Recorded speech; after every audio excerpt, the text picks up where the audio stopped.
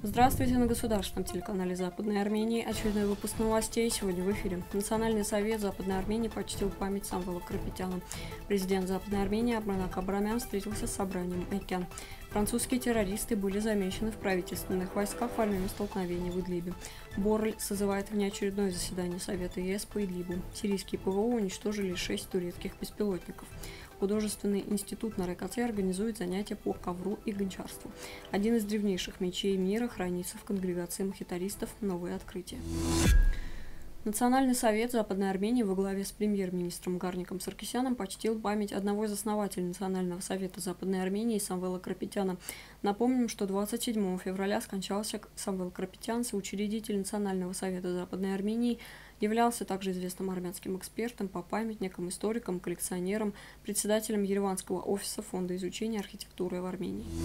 23 февраля по приглашению Казара Сарксяна президент Западной Армении Арменак Абрамян встретился с собранием Айкян. В начале встречи президент кратко представил свою биографию, эпизоды освободительной войны в Арцахе, а также историю формирования правительства Западной Армении, предстоящие планы на этот год, а затем ответил на вопросы общины Айкян.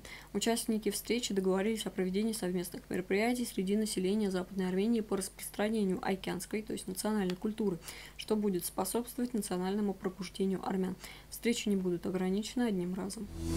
Франс-24 показал эксклюзивные кадры, показывающие причастность французских террористов к столкновениям в Идлибе. Согласно видеороликам, опубликованным 28 февраля, в окопе есть пулемет и несколько человек с автоматом. Некоторые из них носят бронежилеты и говорят по-французски.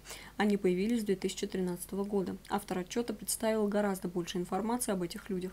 По его словам, они участвуют в военных действиях уже несколько лет. Считается, что людям, которые были там, в этом районе с 2013 года, этого времени уже достаточно. Это несколько десятков человек, которые создали труднодоступный лагерь на турецко-сирийской границе, который действует с тех пор. Они участвовали в нескольких битвах, наиболее известной из которых была операция против армянского города Кисап, с которым воевали джихадисты в 2014 году на границах Турции и Идлиба. Прокомментировал журналисту «Франс-24» журналист Васим Наср.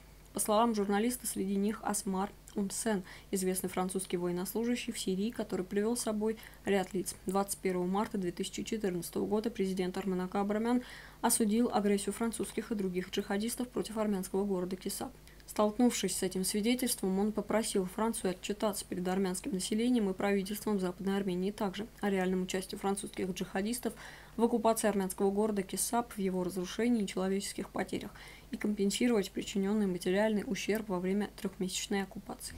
Обострение в сирийском Идлибе может стать главной темой внеочередного заседания Совета Европейского Союза. Об этом заявил верховный представитель ЕС по иностранным делам и политике безопасности Жазель Борель сказано в коммюнике, распространенном в Брюсселе 1 марта. По его словам, военные действия в Сирии несут серьезную угрозу международной безопасности.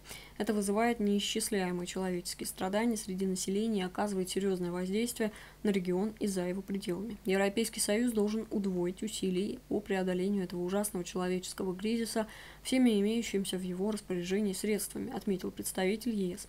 По его словам, собраться Совет ЕС должен как можно скорее. Поэтому я призываю провести на следующей неделе внеочередное заседание Совета Европы по иностранным делам для обсуждения складывающейся ситуации, в частности, по просьбе министра иностранных дел Греции, заявил Боррель. Напомню, 1 марта стало известно, что Турция начала в Сирии новую военную операцию в ответ на авиаудары режима Асада. Ранее сообщалось, что Совбез ООН проведет экстренное заседание по Идлибу. По данным Сирийского государственного агентства новостей САНА, число турецких беспилотников, уничтоженных сирийскими ПВО в Идлибской зоне до эскалации достигло шести. Днем один из них был сбит у Сиракиба. Вчера турецкие вооруженные силы сбили два сирийских истребителя Су-24. После этого Российское Министерство обороны заявило, что оно больше не будет гарантировать безопасность воздушного пространства в Сирии для Турции и что любое устройство, нарушающее воздушное пространство Сирии, окажется под угрозой. Союзы искусственной РКЦ в Шуше предоставят бесплатные занятия по ковроделию и гончарному делу для детей и подростков. Об этом в беседе с корреспондентом Арцах Пресс сообщила администратор Союза искусств на РКЦ в Шуше Ани Капланян. По ее словам, проект, который стартует 1 апреля и занятия будут проходить два раза в неделю, реализуется в партнерстве с профсоюзом и фондом Грайера и Анны Овнанян.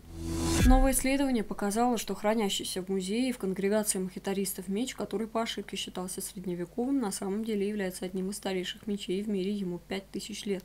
Как сообщает Армен Пресс, об этом пишет Daily Mail. Согласно новому исследованию, один из хранящихся в музее на острове Святого Лазаря в Венеции мечей является старейшим мечом в мире, которому около 5000 лет. Редкий меч, который не похож на старое оружие, был изготовлен в третьем тысячелетии до Рождества Христова на Армянском Нагоре.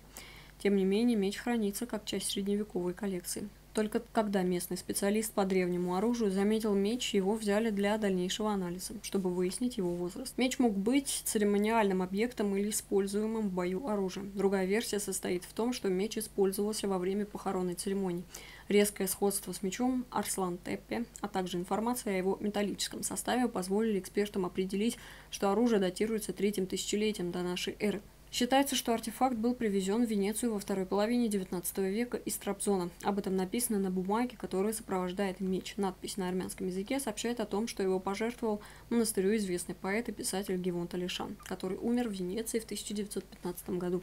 Сейчас ведутся дальнейшие исследования меча. На сегодня у нас все. Далее мы представим вашему вниманию исполнение Сусанны Сирадерен.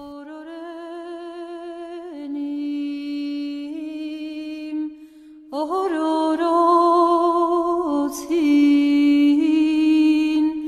ամուշքուն գա գրկանոցին աստղնքելամ